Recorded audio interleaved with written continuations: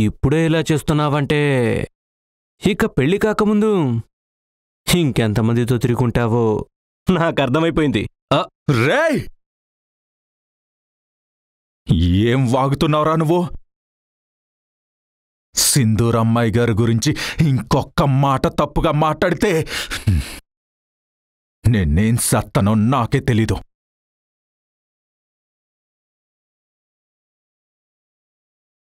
హే అమాయకుడిగా అద్భుతంగా నటిస్తున్నావన్నాను కదా అని. మరో యాంగిల్లో నీ పెర్ఫార్మెన్స్ చూపిస్తున్నావా?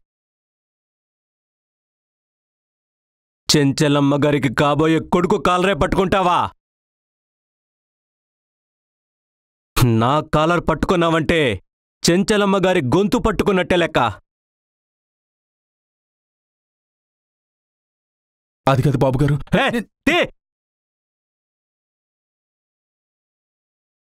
అర్థమైపోయింది. మీ ఇద్దరి వీడియో చెంచలమ్మ గారికి చూపించాల్సిందే.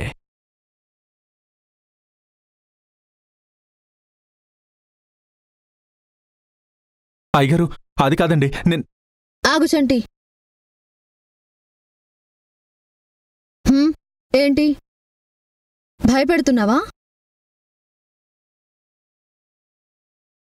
నువ్వు చూపించేవాడివైతే ఇంతవరకు ఆగేవాడివే కాదు.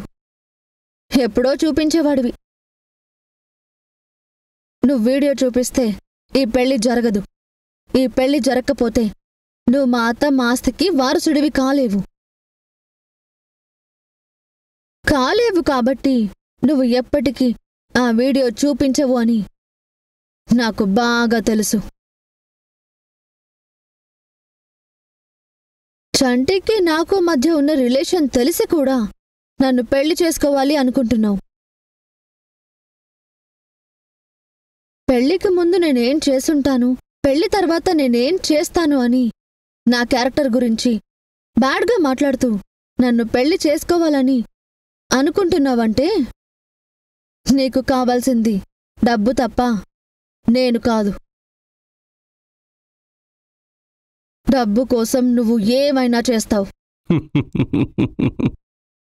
మన పెళ్ళికి ముందే నా గురించి నీకేమాత్రం క్లారిటీ ఉండటం చాలా మంచిది.